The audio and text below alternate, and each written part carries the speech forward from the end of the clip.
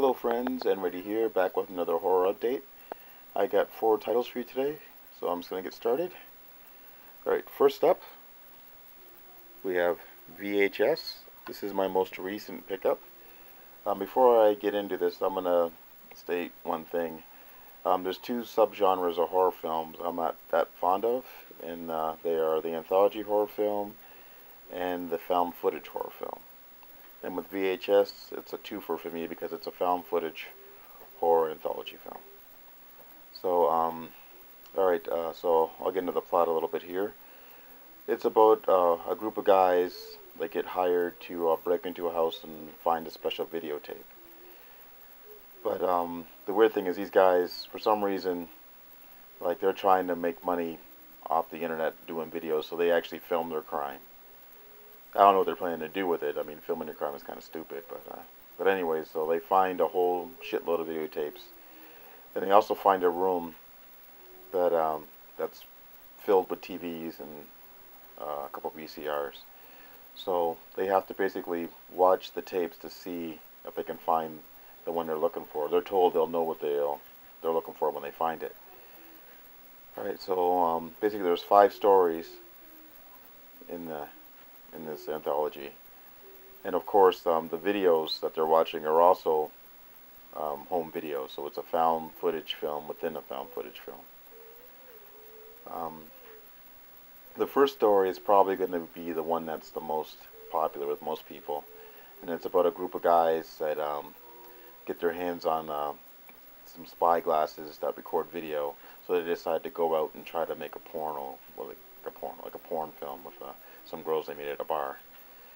Um, this one was really hard to watch for me because the guys were so obnoxious the whole time. Like, I guess it's probably true when you got young guys that are drinking and they're you're having way too much fun. But um, but it wasn't until the shit hits the fan and the last sort of story that it actually became enjoyable for me because it was really really hard to watch that one. The second story um, I think it was directed by Ti West. It was about a couple that's on vacation, and then they meet as like a stranger or something. That one was kind of a, a weird one too, but that the, the problem I had with that one was that um, was that the story there wasn't enough backstory as to what was going on. Obviously, there was more going on to what they were saying. There was like little hints there and here and there about the couple that they I guess they were having some kind of problems, but you don't really find out what it was or anything on that one. Um, I'm trying to remember what the third one was. The third one, I think, yeah, the third one was probably my favorite. And that one, the subtitle of that one was Tuesday the 17th. And that was about a group of kids that go out to the woods. And uh, the one girl basically tricks her friends to get out there, and she has her own reasons. I won't get into it, but that one was probably the coolest out of the uh, five uh, stories. And then the fourth one was a Skype story. And that one was kind of like a ghost type one, where the girl uh, is talking to her long distance boyfriend on Skype, and then there's all this ghostly stuff happening. That one was alright. And then the final story was about uh, a group of guys that were going on Halloween night. And the one guy is actually dressed up as uh, as one of those bears, you know, security cam bears, or nanny cam bears with the, you know. And then, of course, the guy went all the way he put the bear suit on and he also put like a special hidden camera on it. This was actually a really cool idea because usually in found footage movies, when you got someone holding the camera, at some point, you know, they really should drop the camera and run when, the, when like whatever starts happening happens. But this, the camera was like strapped to him, so there was, you know, there was no real reason to drop the cam. He probably forgot he was even filming once uh, things turned bad in that story. Um, I actually ended up enjoying this one. I wasn't sure if I was going to like it that much. Like, the idea of the videotape sold me off the bat.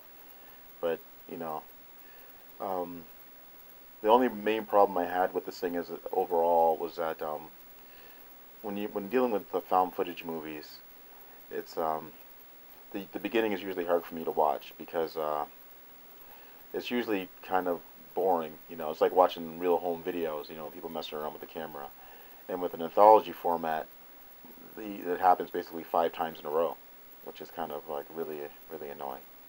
But I don't I enjoyed it overall. Like um, I'm not sure. Like I don't think everyone's gonna like this movie, but I liked it enough. I'm happy for the purchase.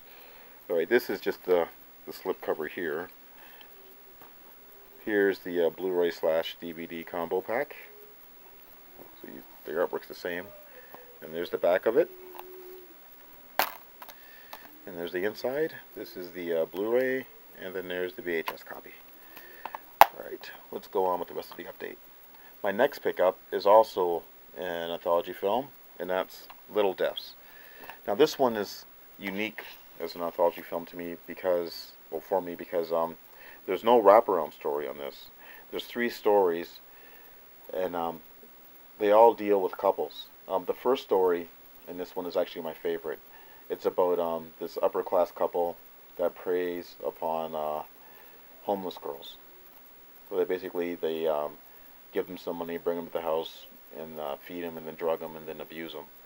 This one, of course, um, they find the girl and they do that, and then there's a twist. I won't get into the twist, but it was my most enjoyable story of the three. The second story in this one was the weirdest, and it was about uh, it was about a couple, uh, obviously. The one, uh, the girl was an ex-junkie, and um, her boyfriend's a drug uh, dealer, but he actually has an arrangement with this um, doctor, who's basically a mad scientist, and he has um, this guy strapped in a room, and I'll turn it around so you can see a picture of him, like right there. I don't know if that's showing up or not.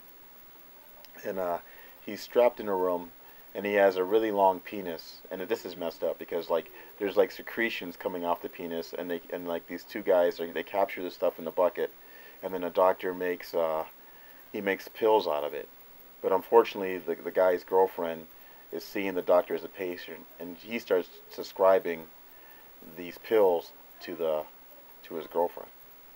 So that one was all right. And then the last story, um, the last story is about um, a couple. And the um, the thing about the story is it's a really weak story, it's not even horror. It's basically this one guy has a really shitty girlfriend, and she's really um, really bad to him the whole way through the story. You know, like cheats on him, like humiliates him and all, degrades him and all that stuff until he can't take it anymore. Um, and then he gets his revenge. Um, the thing about that, the way these stories are structured, they probably should have made it the first story, and then the one in the middle could have stayed in the middle, because it's really the weakest story. And I think I would have enjoyed the anthology more if they had done it, if they had ended on the strongest story instead of ended on the weakest story. Like um, I wouldn't recommend. Maybe if, you, if this is on like Netflix, but I wouldn't recommend um, spending any serious money on this one. And of course, this artwork here, this girl with the the shards of glass or steel stuck in her back, that she's not even in the movie. And it's a shame. It's a really great image, you know. So this is basically just going to be for decoration for me. All right, let's go on to the third pickup. It's a horrible way to die and this one was directed by one of the directors that was involved with um, VHS. I forgot uh, to mention that VHS was a collaborative effort of several directors. This is the second video I've done of this, and I messed it up both times with that. Um, this movie is about a girl who used to date a serial killer, and she's got alcohol problems. And I think she actually had the problems even when she was with the serial killer. And she's trying to get her life back together. But the serial killer um, breaks out of uh, prison and he's coming after her, but she has no idea. And you would think someone would have warned her because she was the one that turned him in.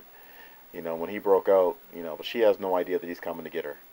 Um, the thing about this movie is that, like, you guys heard of, like, shaky cam. This movie, I would describe as being shot with a wandering cam. And I'll show, I'll give you an idea of how most of the scenes look in this movie. It's like, the camera's, like, all over the place. Like, the, like the cinematographer got like distracted or something or got tired of you know keeping the camera in place so it just kind of moves around like that and I think they're trying to do something artsy but at the same time it's like just hold the damn camera still um, what saved this film for me though was the ending. Like there's a twist. And I won't get into it because um, you know you know it's better if you're going to see the movie that you don't know have an idea what it's going to be. But it saved it for me. Without the twist I probably wouldn't have liked this movie very much. Alright, so let's go on to my uh, fourth and final uh, pickup. and that's Uninhabited. And this movie is about uh, a couple that go to a deserted island to spend the week. And like they have this guy that's giving them like a one of those satellite phones, and he said, "Look, if any problems, you know, just give me a call and I'll come back and get you." So um, to me, it, the whole idea sounds really bad from the beginning. Like the idea of going on a deserted island out in the middle of nowhere, like they're in the ocean, nowhere, not even like an island by a you know by a, a rural area and a lake in it. It's like out in the ocean. Um, of course, this is one of those movies where they think that they're alone, but they're not. Um, if you do decide to see this movie, don't read the back, because the back gives away uh, a major plot point, which is a shame because I would have enjoyed the movie a little bit more if I had not uh, known what the plot point was. Because I was thinking it was going to be one thing, and I read the back, and then I realized that I was wrong, so it spoiled it for me. Um, but I will warn you guys though that with this uh, with this film that it is um, it's a, it's slowly paced. So if you're not, if you don't like slow paced movies, you probably won't enjoy this one. But if you know if you like slow burners, I think you would enjoy this one. Alright guys, this will probably be my last update video until Christmas. Um, and hopefully I'll actually get some movies this year. Last year I got, only got one movie and it was an Adam Sandler movie and it wasn't I don't even like Adam Sandler movies, but it was the only movie I got. So hopefully I get something cool. But I'll probably do at least one more update before this year is out. Um, thanks for watching, guys, and until next time, I'll talk to you later.